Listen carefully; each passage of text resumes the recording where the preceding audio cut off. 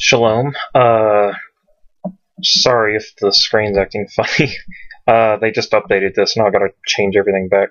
Um, okay, so uh, you saw the title, and maybe you're a Christian, and you're like, you know, kind of clicked on it to be like, oh, I'm going to teach him a lesson. You know? um, but let's consider something here, and um, I want to start reading here, and um, I want to make an apology.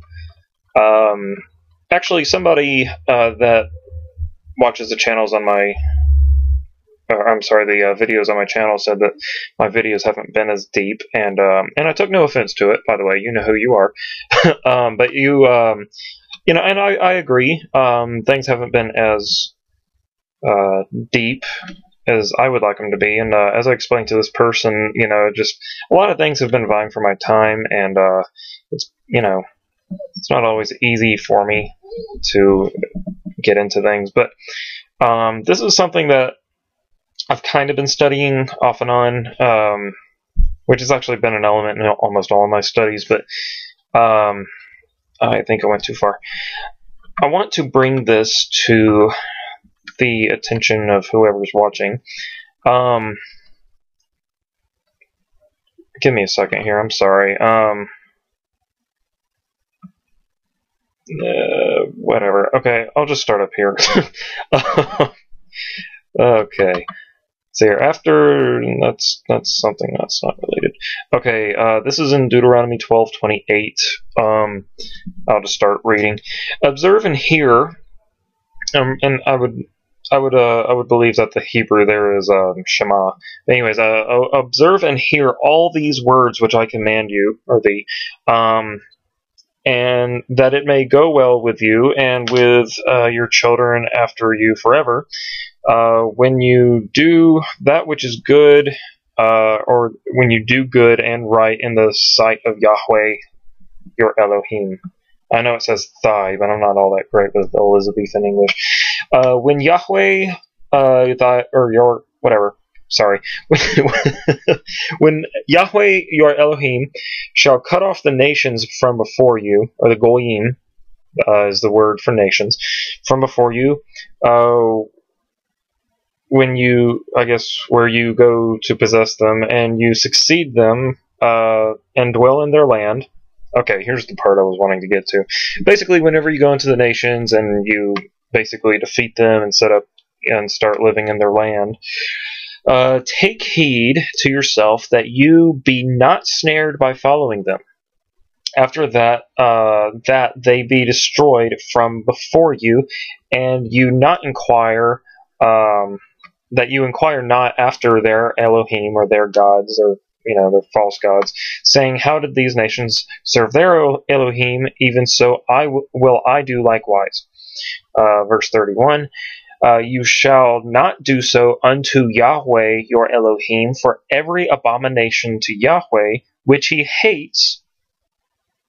Key phrase, he hates every abomination to Yahweh which he hates, they have done, or have they done, unto their Elohim. For even their sons and their daughters they have burnt in the fire of their Elohim, what thing uh, soever I command you, observe to do it. You shall not add nor diminish from it. Do not add to or take away. Um, now let me let me say this. I'm about to read into Deuteronomy 13 because, as we know, the written Torah back in Moshe's day had no chapters or verses. So I'm just going to keep on reading. Um, so okay, bear in mind here, he's telling them whenever you go into the the these foreign nations or the goyim nations land, when you go in there and you set up and you start living there, do not inquire of their ways. Do not inquire of their gods. Don't even do it to you know to do it unto Yahweh. it, it is an abomination, and I hate everything that they do. It's an abomination to Yahweh don't do it. Um, hopefully soon I'll be posting another video talking about certain other pagan ways. Um, um, and, and it's, you'll see why. Um, it, it's basically talking about you know Christmas and Easter. um, you know the, these all these pagan practices that can be found in them that Christians do. Okay, um, so anyways, let's get back on topic here. Um, so okay, don't do like the pagan people do. Don't don't do any of the practices. Don't do it, even if you're saying that I'll do it, but I'll do it for Yahweh. Don't do it. I hate it. It's an abomination. Don't do it. Now let's go back up here. Or let's go up here. Now we're in uh, verse or chapter 13, verse 1. If there arise among you a prophet or a dreamer of dreams and uh, gives you a sign or a wonder, and the sign or the wonder comes to pass, uh, whereof he spoke unto you, saying, Let us go after other gods, other Elohim, uh, which thou hast not known, and let us serve them. You shall not hearken unto the words of that prophet or that dreamer of dreams, for Yahweh or Elohim proves you, or he tests you, to know whether you love Yahweh or Elohim with all your heart and with all your soul. Let's keep reading. Uh, you shall walk after Yahweh your Elohim and fear him and his commandments, his uh, his mitzvot. If I said that right. um, anyways, uh, keep his commandments and obey his voice, and you and you shall serve him and cleave unto him. And that prophet or that dreamer of dreams shall be put to death, because he has spoken to turn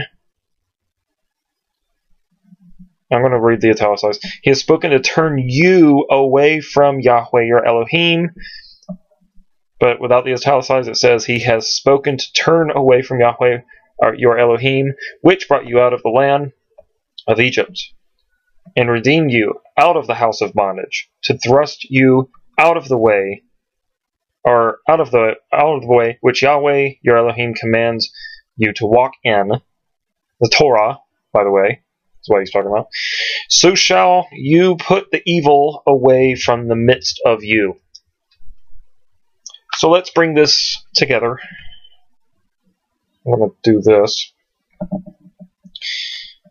I got this split, and I know it's kind of backwards, but you see what I'm talking about. Um, okay, so I started off by talking about how in uh, chapter 12 it says that whenever you go into the foreign nations, um, the Goyim, Gentile nations, if you will. Uh, do not look how they do their practices or their whatever their ways are um, for their gods. Yahweh hates them. He hates those ways. They're an abomination. Then he goes on to say that if if there be a prophet from among you who performs these, you know, signs and wonders, and he he dreams dreams, and uh, I'm, I'm sure that's talking about some kind of you know visions, if you will, uh, interpretive um, dreams. You know, if he does that, but then he says, Let, us go on and do like the other gods. Uh, let's let, let us do like the Goyim do, the uh, these these pagan nations. Let's do like them. He says, don't do it. do not do it. He's trying to turn you away from the ways of Yahweh. See, let me read this, verse three. That uh, you will not hearken to unto his words. You won't consider them. You won't hear them. You won't even do them. You will not hearken unto the words of that prophet or that dreamer of dreams. For Yahweh or Elohim is testing you to know whether you love Yahweh or Elohim with all your heart and with all your soul. You shall walk after Yahweh your Elohim and fear him and keep his commandments, his mitzvot, his Torah, and obey his voice, and you shall serve him and cleave unto him. So, what I have just read to you is basically the formula. My dog is looking at me because I'm yelling. it's okay. Um, basically, what I'm showing here to you is that something sorry um, is that this is the formula that um, I guess you could say Karaites um, Karaites, uh, what what's the other word I'm looking for? Um, contextualists look at, and, messianics as well. Uh, most of them, anyways. They look into this, uh, and this is the formula to proving whether what you have in your midst is a true prophet or a false prophet. This is the formula. So if if they if a prophet comes up and starts, you know, basically doing these things and they they you know, they try to tell you to turn away from the way of Yahweh, which is the Torah, the Nevi'im, the prophets, the Ketuvim, the writings, if you will, and you know, tells you to start, you know, let's go after other gods, and let's do other ways, and let's turn away from Yahweh. First of all, uh, well, I'll get into that in, in a minute, but um, excuse me for a second here. I'm going to do a search. Um,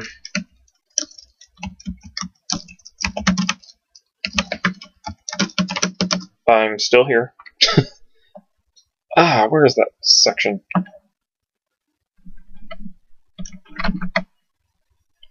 Anyways, I'll just talk as I do it. Um, this is what they use to prove whether a prophet is a true prophet or not uh, if they're trying to do away with Torah, if they're trying to get you to follow after other ways.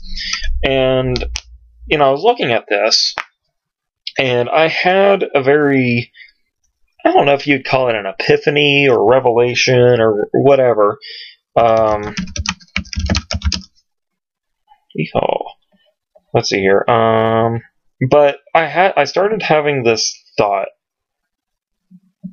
that you know, this is this is there's something here it is. Bear with me here. Hey, there it is. Um Yeah, this is it. Alright.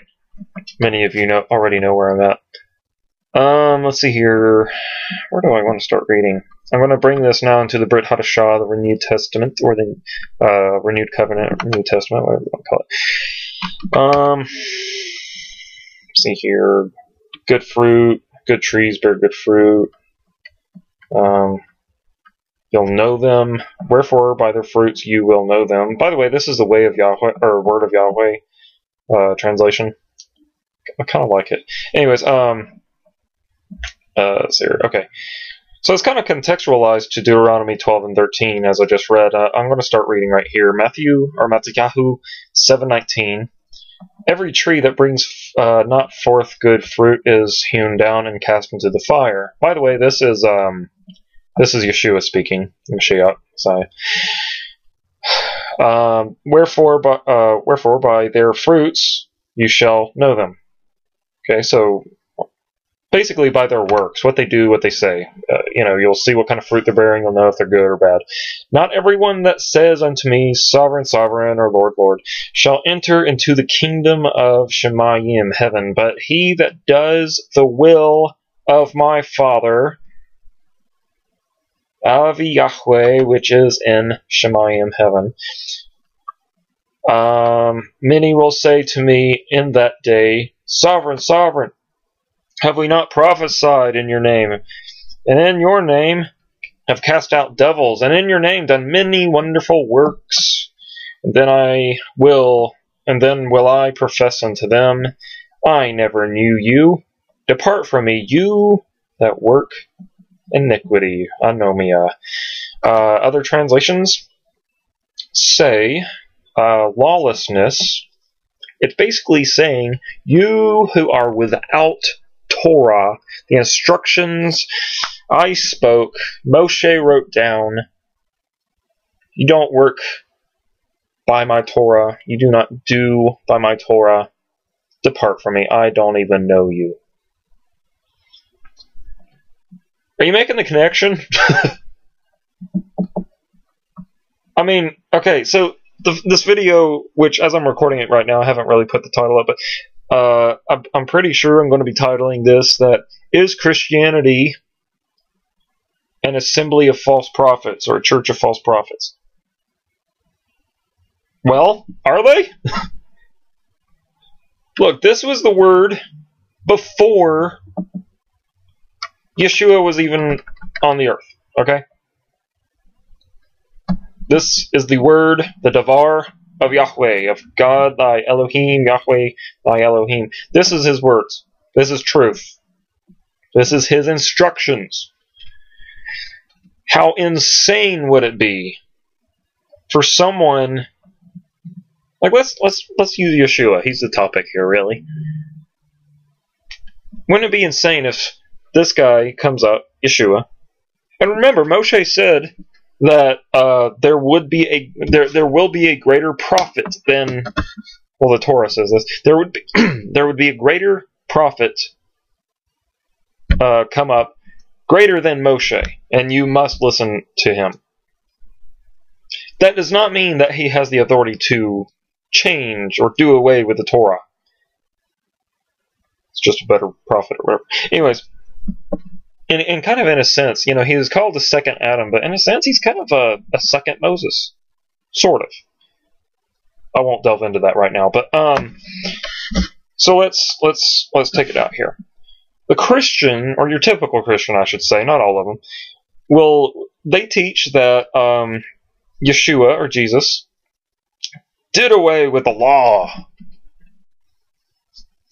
came to fulfill it, which means he did away with it. We don't have to keep it anymore. We're not under the law anymore. We're free to do whatever we want. We got grace. Yeehaw. Problem I have with that is okay, if that's true, then according to Deuteronomy 12 and 13, he's a false prophet. And if he's a false prophet, then that means he's not even the Messiah or the Christ. And that means that any Christian pastor comes my way tells me, I'm free from the law. Jesus set me free from it. He's a false prophet, too.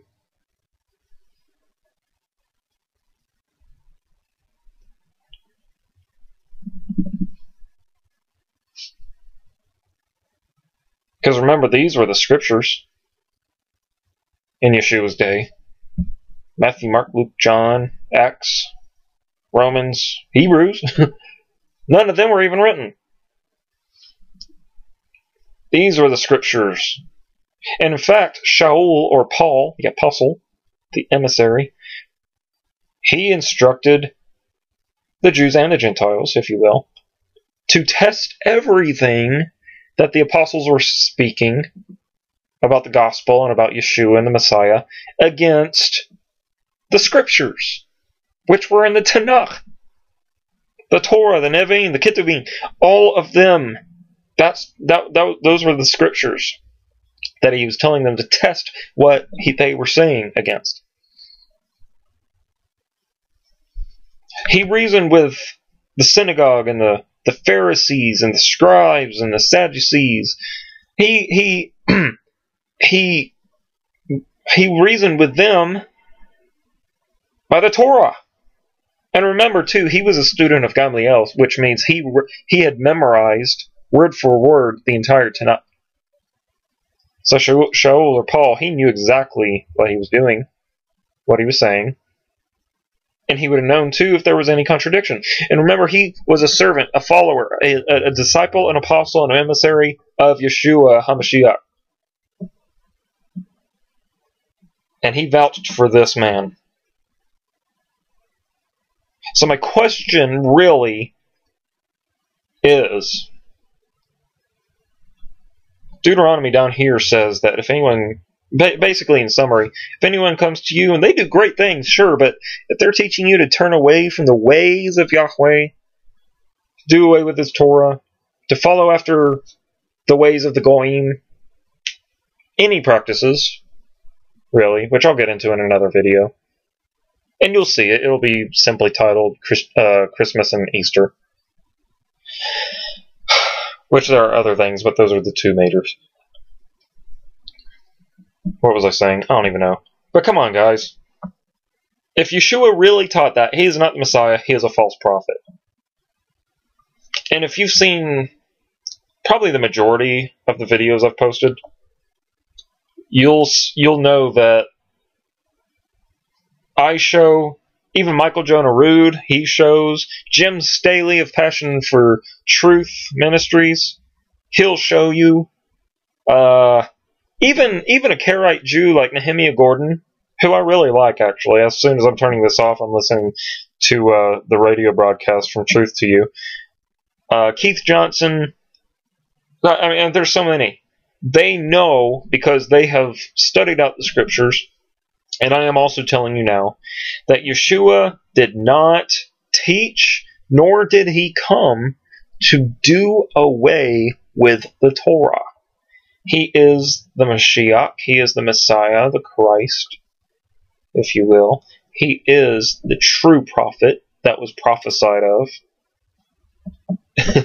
and uh, in Nehemia Gordon's eyes, he's also a Karaite Jew, which Nehemia is not messianic, but that's fine. Um, so, okay.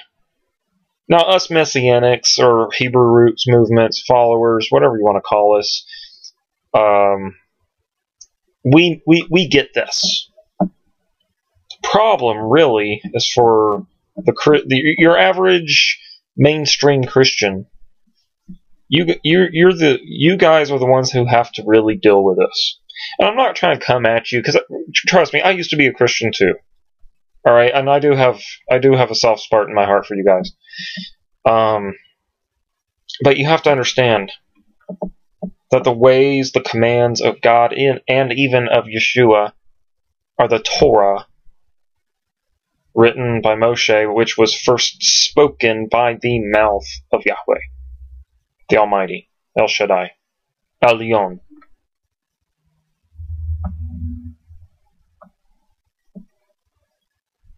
The Most High God. So, that's my message. Thank you for uh, listening, but really, blessings to you and shalom because I really believe that this is important, it is relevant, and it needed to be said. Very harsh, but come on, guys. We can't mince words here. We can't go on saying that Yeshua did one thing when he did not. Uh, we're setting up a different Messiah, a completely different person than what Scripture and the Brit Hadashah, the New Testament, teaches that he was. Okay? So that's that. And I'm lingering, so I'm gonna turn it, I'm gonna turn it off. Uh, shalom to you. Baruch haba b'shem Yahweh. Yahweh Eloheinu, Yahweh Echad. Hallelujah. Yeshua HaMashiach. I love Hebrew.